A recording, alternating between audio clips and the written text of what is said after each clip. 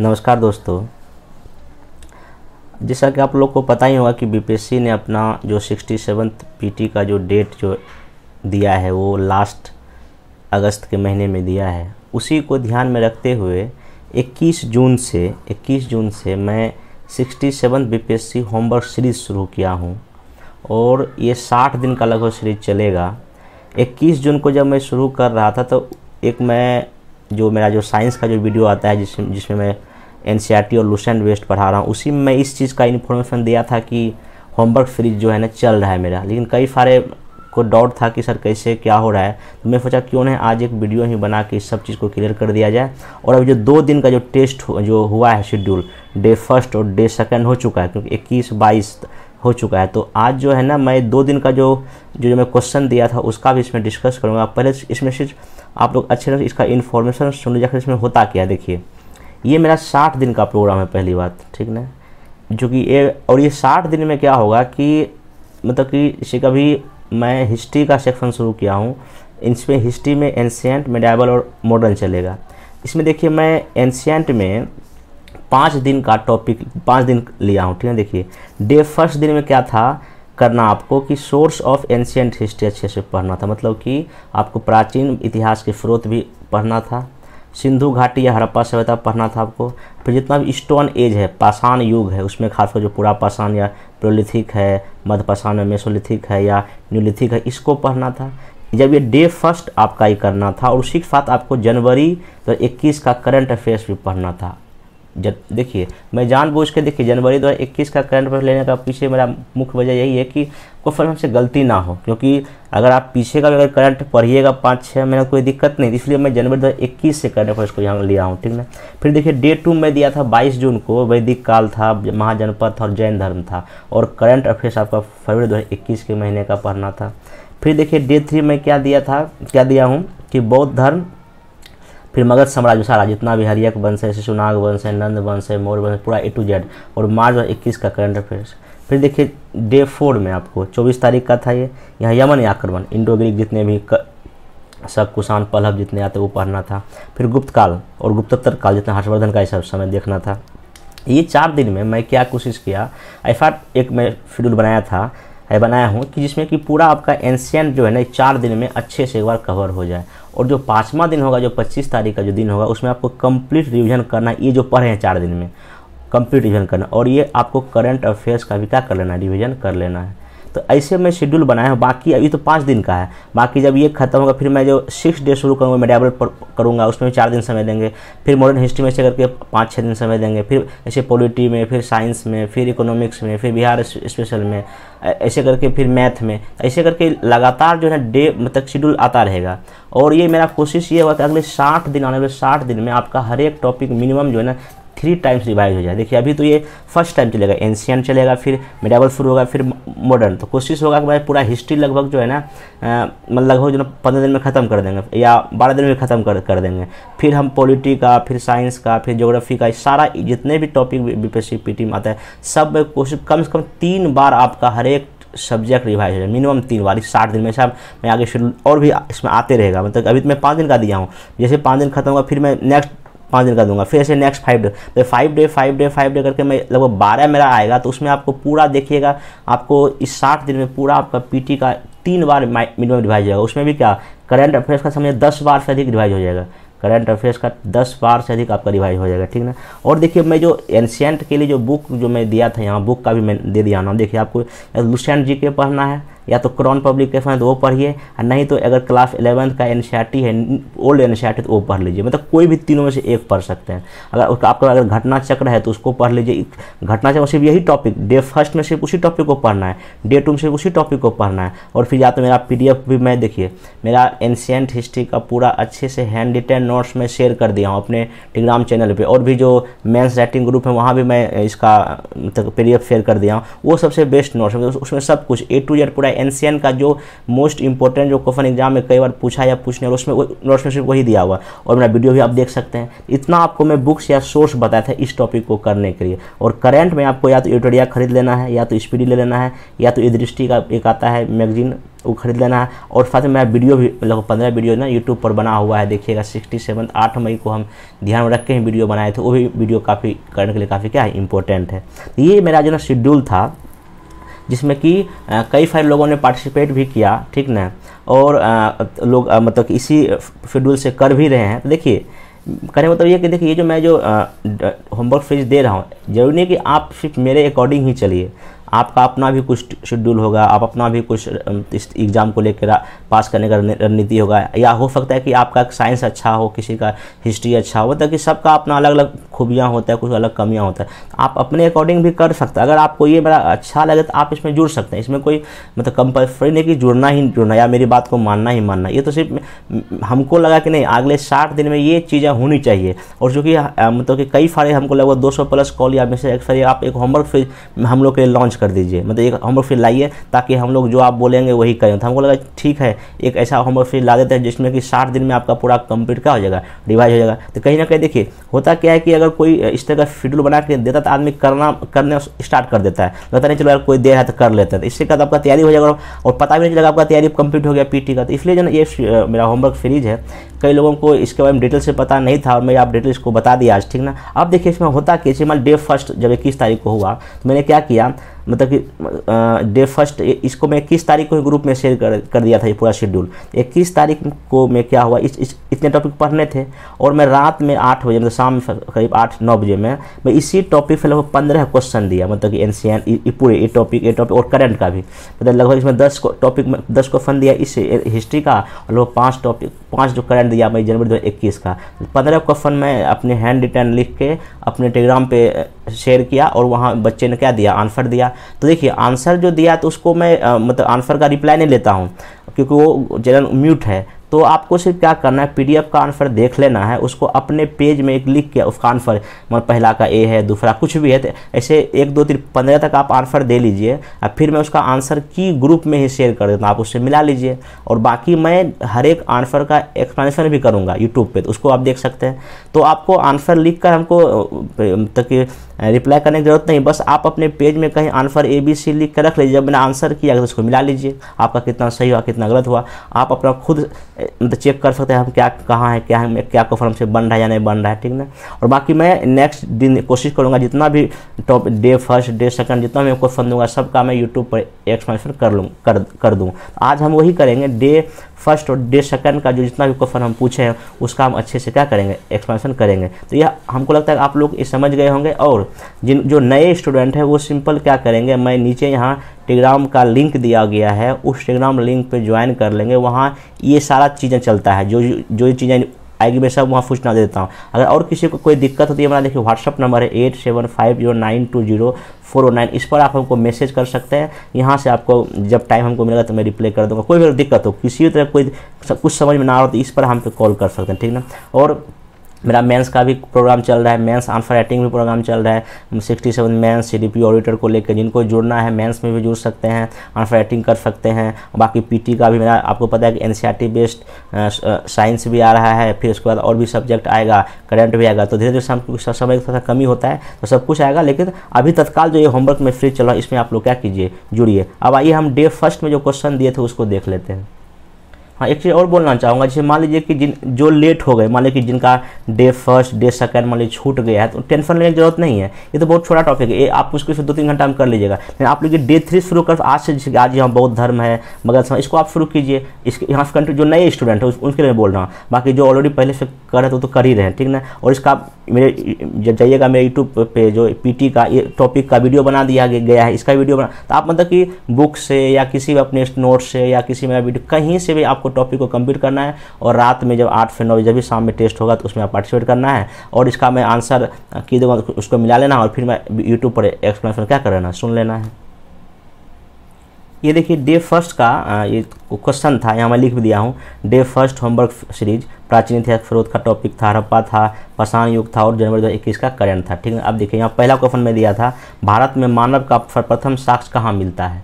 तो भारत में मानव का सर्वप्रथम साक्ष्य जो है ना, आपको पता होगा कि कहाँ मिलता है, नर्मदा घाटी में मिलता है। अब देखिए, इसमें क्या है कि इस, इसको एक्सपेंशन के साथ देखिए मेरा क्या पर्पस होगा। देखिए, अब अगर आपको जितना भी ऑप्शन मैं दिया हूँ इस ऑप्शन के हम देखिए, ये नीलगिरी पहाड़ी है तो अब थोड़ा देखिए कि नीलगिरी पहाड़ी कहाँ है? साउथ में है तो कहाँ पे है? जहाँ पे आपको पता होगा कि जहाँ पे पश्चिमी घाट और पूर्वी घाट आपस में मिलता है, वहाँ क्या है? नीलगिरी पहाड़ी है।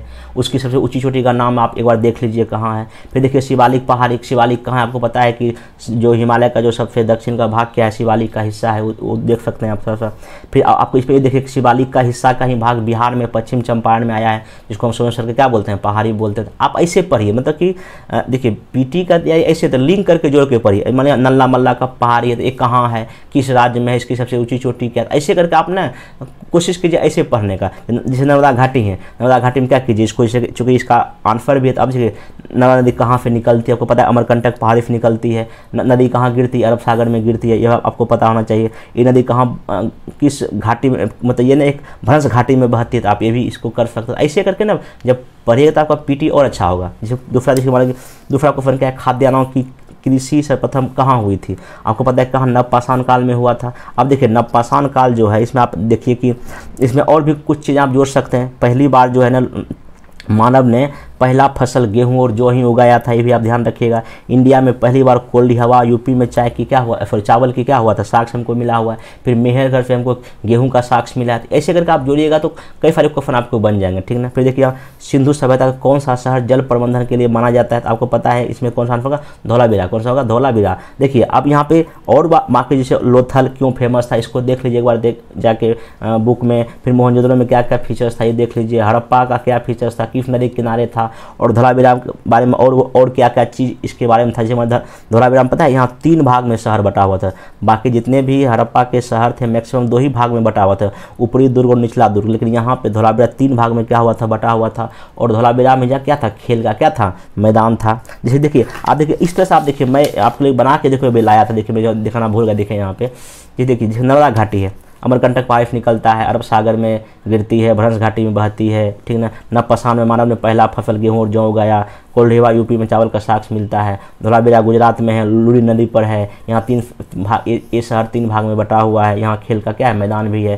तो ऐसे करके आपने चीज़ों को लिख भी सकते हैं, एक नोट्स बना सकते हैं, क्योंकि देखिए पीटी में इस तरह चीज़ें आपके एग्ज़ाम में आएगा ही देखिए, जितना भी मैं ये चीज़ें लिखा सब कहीं ना कहीं एग्ज़ाम में पूछा हुआ या पूछने का आगे क्या है चांस है। फिर देखिए नेक्स्ट क्वेश्चन मेरा था कि निम्नलिखित में से किस वैदिक साहित्य में मोक्ष की चर्चा की गई? आपको पता है कि इसमें किसमें उपनिषद में मोक्ष की क्या की गई? चर्चा, यही आत्मा की भी चर्चा की गई, ये भी आपको पूछ चुका है। और आपको पता है, एक मुंडो उपनिषद है आ, उसमें जो है ना किसका? सतमेव देते का है।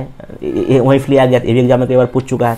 फिर आपको पता है कि ऋग्वेद में सब मिला कि ऋग्वेद में कौन सा मंडल जो सोम मंडल से संबंधित है आपको पता है कि ये नवा मंडल है और पता है कि आपको ऋग्वेद में सब मिला के कितने दस मंडल होते हैं। अब दस मंडल जो ऋग्वेद में होते हैं तो आपको पता है कि तीसरा मंडल गायत्री मंत्र से संबंधित है सत, सतमा मंडल जो है दफरा युद्ध से संबंधित है। ऐसे करके आप इसको लिंक करके जोड़ के पढ़ाई पढ़ाई कर सकते हैं। आपका पीटी क्या होगा? बेहतर हो जाएगा। फिर देखिए कालीबंगा कहाँ स्थित आपको पता राजस्थान में स्थित है। बाकी और हरियाणा में क्या है? गुजरात में कौन कौन सा है? पंजाब में कौन कौन सा है? ऐसे करके जो है लिंक करके जोड़ने से पढ़ने से ज़्यादा फ़ायदा होगा। फिर आगे देखिए अगला पुराण की संख्या किसके अनुसार अठारह है? ये ना एक दर्शन था बड़ा बड़ा पुराण में लिखा हुआ है कि पुराणों की संख्या कितनी है? अठारह ये आप देख सकते हैं। और आपको पता है कि जो है ना सब मिला के जो है ना, अठारह पुराण है। अठारह पुराण में सबसे जो है ना आपका जो है, सबसे जो पुराना पुराण पुराण है, मत्स्य पुराण है। और उसी मत्स्य पुराण में, उसी मत्स्य पुराण में आपको विष्णु के दस अवतार का क्या है, वर्णन है। और इनका नमा अवतार कौन सा है बुद्ध है। और दसवां क्या है, कल की है। सब एग्ज़ाम में क्या कर सकते हैं पूछ चुका है। ऐसे देख आप कर सकते हैं।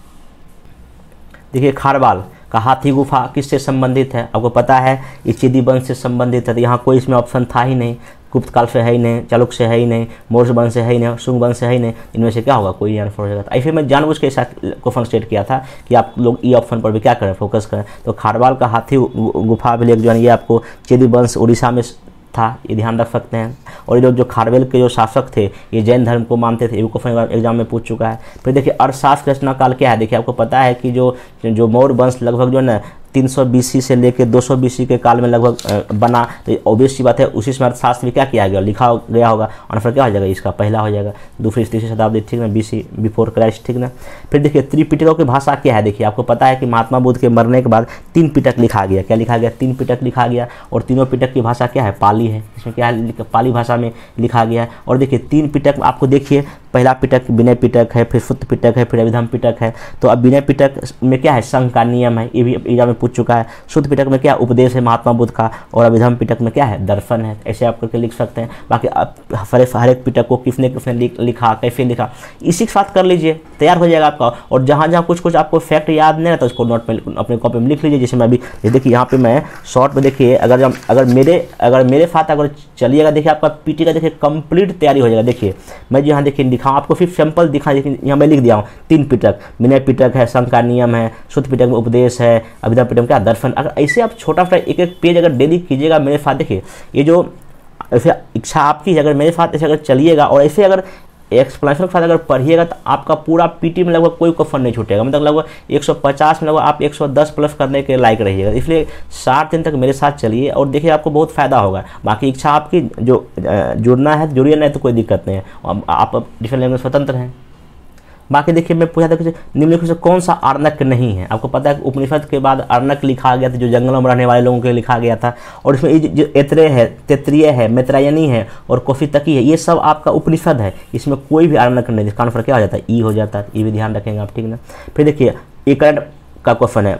भारत पर्व का आयोजन किस मंत्रालय द्वारा होता है? ये होता है किसके द्वारा? केंद्रीय पर्यटन मंत्रालय द्वारा द्वारा होता है। फिर देखिए, भारत का पहला फर्म आंदोलन संग्रहालय कहाँ? म्यूज़ियम खुला है। ये कहाँ खुला है? केरला में खुला आप ये भी करंट का जनवरी का ये जनवरी दो का करंट है। लकड़ी से निर्मित उपग्रह बनाने की घोषणा किस देश ने की है? आपको पता है कि ये कौन? जापान ने किया है। आप ये देख सकते हैं, ठीक ना? फिर देखिए भारत यूएनओ की सुरक्षा परिषद का अस्थायी सदस्य कब से बना है? ये क्वेश्चन बीपीएससी पूछ चुका था सिक्सटी सेवन्थ पीटी में भी तो आपको पता है कि एक जनवरी 2021 से बना है और ये दो साल का आपको पता है ना, सुरक्षा परिषद जो है, यूएनओ का एक अंग है। सुरक्षा परिषद में पाँच अस्थायी सदस्य होते हैं और बाकी दस अस्थायी सदस्य होते हैं, ठीक ना? अभी इंडिया जो है ना, दो साल के एक जनवरी दो हज़ार इक्कीस से लेकर आगे जो दो साल तक के इसमें अस्थायी सदस्य बना है। सुरक्षा परिषद का और भारत के साथ और भी चार देश बना है जिसमें नॉर्वे है मैक्सिको है, आयरलैंड और कौन है? केन्या है। ऐसे करके आप लिंक करके पढ़िएगा तो आपका चीज़ें अच्छा तैयार होगा। देखिए फिर ये डे टू का क्वेश्चन दिया था मैं कल दिया था। देखिए टॉपिक था क्या वैदिक काल, महाजनपद, बौद्ध धर्म और फरवरी इक्कीस का पूरा करंट अफेयर देखिए इसमें क्या था? अनेकांतवाद सिद्धांत किसका है? आपको पता जैन धर्म का है ये, और सियादवाद भी आप सिद्धांत जानते होंगे किन का है ये? जैन धर्म का है। दूसरा क्वेश्चन था समाधि मरण। किस दर्शन से संबंधित है? आपको पता है कि जैन धर्म में खुद से जो है ना, मृत्यु करने का वर्ण है। मतलब खुद से आदमी मृत्यु मतलब भूखे प्यासे रह के अपने मृत्यु को धारण करता है। तो वही था, समाधि मरण। किस दर्शन से संबंधित है? आपको ये जैन धर्म से संबंधित हो गया, ठीक ना? सोलह महाजनपदों की सूची उपलब्ध है। किसमें? आपको पता होगा किसमें? बौद्ध धर्म के अंगुत्तर निकाय में ये भी क्वेश्चन पूछा है बीपीएससी या किसी और एग्ज़ाम में, ठीक ना? निम्नलिखित युगमों में पर विचार किए। देखिए, इसमें क्वेश्चन क्या था? देखिए, मैं यहाँ कुछ महाजनपद का नाम है, यहाँ उसकी क्या राजधानी? आपको पता है कि अस्मक की राजधानी विराटनगर नहीं थी। असमक की राजधानी जो विराट ये था पोटली। कहाँ था पोटली? और असमक ही एकमात्र ऐसा महाजनपद था जो कहाँ था? दक्षिण में था। और ये किस नदी पर था? गोदावरी नदी के किनारे था। ये क्वेश्चन अब ऐसे लिंक करके पढ़िए। असमक ऑप्शन से ही क्वेश्चन बनेगा। ठीक है ऑप्शन देखिए ऑप्शन भी एक खुद एक क्वेश्चन है। आप असमक के बारे में सब बात लिखिए। असमक कहाँ था? किधर था? इन इस, इसका क्या विशेष था? उसको पढ़िए। फिर अंग देखिए। ये भागलपुर में था बिहार में था। ये भी अंग की राजधानी कहाँ थी? चंपा थी। फिर ये चेरी देखिए। आपका जो है ना, इसका कहाँ था? शक्तिमती, ये सही है। और ये किस क्षेत्र में था? चिदी था बुंदेलखंड उत्तर प्रदेश में था। ये कहाँ? बिहार का हो गया। और ये आपका क्या है? ये तो आपका गोदावरी नदी हो ही भारत का एकमात्र दक्षिण का हो गया। इसका मतलब ये गलत है, बाकी दोनों क्या है? सही। तो कौन सही नहीं है? तो आंसर क्या हो जाएगा? इसका ये हो जाएगा, पहला हो जाएगा, ठीक है? एक ऐसे कर सकते हैं। तो देखिए, जैन धर्म के तेईसवें तीर्थंकर कौन थे? क्वेश्चन कई बार पूछता है कि, देखिए तो तेईसवें तीर्थंकर कौन थे आपके? पार्श्वनाथ थे, एग्ज़ाम में पूछ चुका है। अब देखिए पार्थनाथ के बारे में अच्छे से कुछ, देखिए पार्थनाथ तेईसवें तीर्थंकर थे पार्थनाथ जो है ना इन्होंने चार शिक्षाएँ दिया था कि हिंसा ना करो सत्य ना सत्य बोलो चोरी ना करो और संपत्ति ना रखो। बाद में महा, जब ज, महावीर जी आए तो उन्होंने एक इसमें ब्रह्मचर्य लाइन जोड़ दिया तब पाँच हो गया। तो मतलब ये ऐसे कर सकते हैं। उसके बाद देखिए पहला तो ऋषभ देव थे आपको पता ही होगा। फिर चौबीस में कौन थे? खुद महावीर थे। फिर मतलब बाईस में कौन थे? अरिष्ट नेमी थे। तो ऐसे करके कुछ कुछ नंबरिंग याद कर लिए पता नहीं क्या आपको फन पूछ दे कभी भी कुछ पूछ सकता है ठीक ना? बाकी देखिए यहाँ पर आपका जो, ये जो नामी इक्कीस में थे तो इसे करके देख सकते हैं। किस महाजनपद की दो राजधानी, देखिए, मैं जब, मेरा जब नोट्स आप पढ़िएगा, इसका क्या कहते हैं एंशियंट हिस्ट्री का, उसमें आपको मैं काफ़ी अच्छे से बताया बताया हूँ नोट्स में ही कि कौन कौन से महाजनपद की कितनी कितनी राजधानियाँ हैं और कहाँ कहाँ है। तो जिनको नोट्स मिला होगा, उनको पता होगा कि जैसे कि आपका जो ये जो ऑप्शन देखिए, अंग की एक ही राजधानी, उसका नाम था चंपा। कौशल की दो राजधानी था। उसका एक नाम था फरावस्ती, एक का नाम था साकेत या अयोध्या, जो उत्तर प्रदेश में है, ठीक ना? तो कौशल की दो राजधानी थी। बाकी देखिए, आपका कुरु जो है, कुरु का इन राजधानी सिर्फ़ इंद्रप्रस्थ, जिसको इसको दिल्ली दिल्ली में था, ठीक ना? अस्मक का तो वही हो गया, पोटली जो दक्षिण में था, इसका एक ही था। इसका मतलब ये है, ये जो बी जो ऐसा ऑप्शन है, जिसकी क्या थी? दो राजधानी था। और भी कुछ था, जैसे कि मान लीजिए कि अवंती का दो राजधानी था। एक था उज्जैनी, एक था माहिष्मती। अवंती की दो राजधानी थी। उसके बाद जो है ना आपका पंचाल की भी दो राजधानी थी। ठीक है तो ये सब थोड़ा सा आप ना ध्यान रखिए किसकी किसकी दो कभी क्वेश्चन पूछ सकता है। फिर अगला इसमें कोई पूछे थे उत्तर वैदिक काल में निष्क और सतनाम क्या? आपको पता है कि निष्क और सतनाम क्या था? ये मुद्रा था ये काफ़ी क्वेश्चन फिर यू, ये यूपीएससी भी क्वेश्चन पूछ चुका है पीटी में इतना इंपॉर्टेंट क्वेश्चन है। ठीक नेक्स्ट चलिए। पेपरलेस बजट पेश करने वाला भारत का पहला राज्य कौन था, देखिए पेपर लेस पर यूपी ने पेश किया। किसने किया? यूपी ने। ये दो हज़ार इक्कीस में ही कर दिया था यूपी ने, ठीक है लेकिन बाईस में जो केरला किया था तो इस पर आंसर क्या हो जाएगा? इसका उत्तर प्रदेश हो जाएगा। सहतूत बाँध किस नदी पर है? ये आपको पता है, मैदान नदी पर है। किस नदी पर है? मैदान नदी पर। ये अफ़गानिस्तान में सहतूत बाँध। ये भारत के सहयोग से बाँध क्या हो रहा है? बन रहा है। फिर एक क्वेश्चन हम और दिए थे कि आप वित्तीय साक्षरता सप्ताह किसके द्वारा होता है और ये आरबीआई मनाता है, किसके द्वारा होता है? आरबीआई के द्वारा होता है। तो ये आपका क्या था?